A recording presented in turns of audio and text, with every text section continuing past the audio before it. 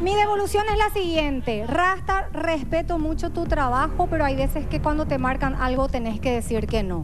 Esa mímica, ese teatro, esa caracterización que hiciste hacia mi compañero en la mesa del jurado me pareció una falta de respeto.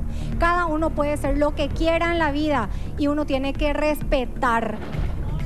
No hay humor en eso, no hay humor en eso, en serio, que la carterita y esos gestos a mí no me gustó, me pareció una falta de respeto, realmente empiecen a hacer algo cómico porque aburren, mi nota es esta.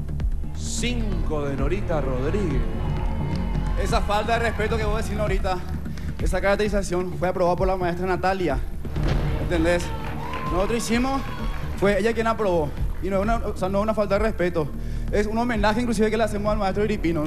Y no sé por, Homenaje. por qué tiene de malo, a claro. eso se le llama homenaje. Dios Claro. mío, basta, basta, en serio. Un señor como él canta, baila, es una excelente persona y que hagan eso es una falta de respeto. Yo No, no, no haría una eso falta de jamás. está muy Mi equivocada, no es educación falta no me lo permitiría.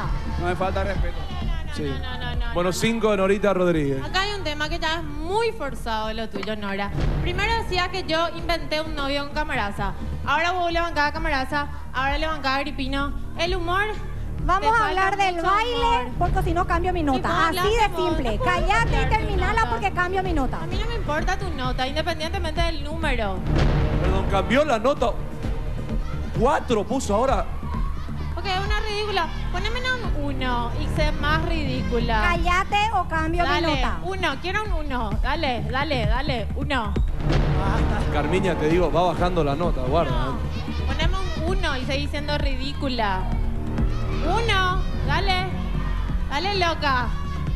Dos, ahí está, gracias. Perdón, Norita, ¿la nota definitiva queda en un 1? No, te, te doy la chance de que me aclares si en dónde queda la nota definitiva. Si la producción me permite, esta es mi nota. Más respeto, más respeto.